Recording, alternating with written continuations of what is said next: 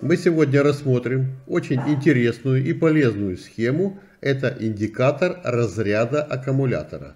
Схема индикатора разряда достаточно проста и повторить ее не составит труда. Если все собрано согласно схеме, то устройство должно заработать сразу без каких-либо настроек. Индикатор разряда будет полезен для различных приборов, чтобы можно было следить за состоянием аккумулятора. Тем более, что схема универсальная. Огромной популярностью сейчас пользуются литий-ионные аккумуляторы номинальным напряжением 3,7 вольт. Они компактны, относительно недороги и могут иметь большую емкость.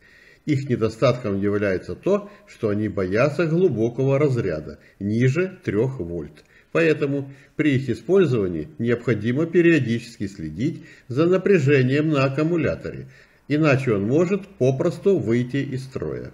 При создании самодельных портативных устройств бывает не лишним устанавливать внутрь модуль, показывающий, на каком уровне находится напряжение в данный момент. Именно схема такого модуля представлена на экране.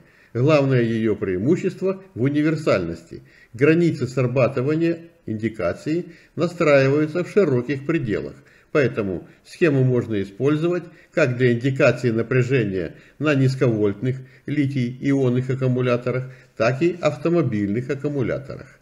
Схема содержит 5 светодиодов, каждый из которых загорается при определенном напряжении на аккумуляторе. Порог срабатывания светодиодов от 1 до 4 задается подстроечными резисторами, а пятый светодиод загорается при самом минимальном напряжении на аккумуляторе. Таким образом, если горят все 5 светодиодов, значит аккумулятор полностью заряжен. А если горит только первый светодиод, значит аккумулятор давно пора поставить на зарядку. В схеме используются 4 компаратора для сравнения напряжения аккумулятора с опорным напряжением. Все они содержатся в одном корпусе микросхемы LM239. Для создания опорного напряжения, равного 1,25 вольт, используется микросхема LM317.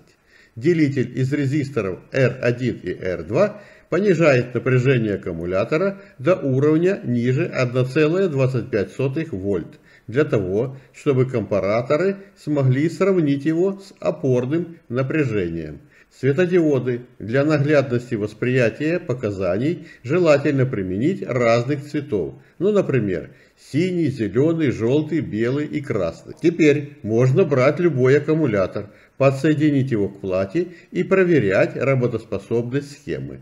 Первым делом, после подключения аккумулятора, проверяем напряжение на выводе номер 2 микросхемы LM317. Там должно быть 1,25 вольт. Затем проверяем напряжение в точке соединения резисторов R1 и R2. Там должно быть около 1 вольта. Теперь можно взять вольтметр и регулируемый источник напряжения и вращением подстроечных резисторов выставить нужные пороги срабатывания для каждого из светодиодов. Для литий-ионного аккумулятора оптимально будет выставить следующие пороги срабатывания. LED1 4,1 вольта, LED2 3,9 вольта, LED3 3,7 вольта, LED4 3,5 вольт. На схеме я подпишу все эти напряжения. При подключении схемы тестируемого аккумулятора обязательно нужно соблюдать полярность, иначе схема может выйти из строя. При подключении аккумулятора загорелись все четыре светодиода, значит напряжение на нем лежит в пределах от 3,7 до 3,9 вольт.